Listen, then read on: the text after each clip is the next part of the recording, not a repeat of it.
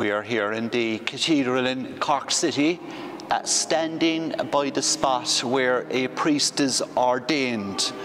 On the day of ordination, he will lie prostrate on this spot while the, the bishop will pray over him uh, along with the priest of the Diocese of Cork and Ross. We have gathered this Holy Thursday morning for the Chrism Mass, where the priests of and Diocese and all priests that are working here in our diocese gather together to renew our priestly vows. And we'd like to tell you about something special that's coming up for men between the ages of 18 and 40 who may be thinking about a vocation to the diocesan priesthood. It's called a Come and See event and it'll be on Sunday, April the 28th in the afternoon in Mardyke House in Cork City.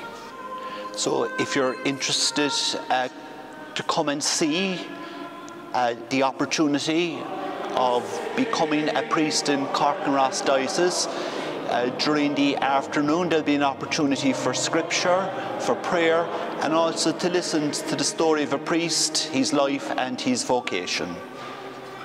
So that's the Come and See event on Sunday, April the 28th. If you're interested in the diocesan priesthood and you're male between the ages of 18 and 40, we look forward to seeing you. And for those who you may know who may be interested, please do let them know. God bless.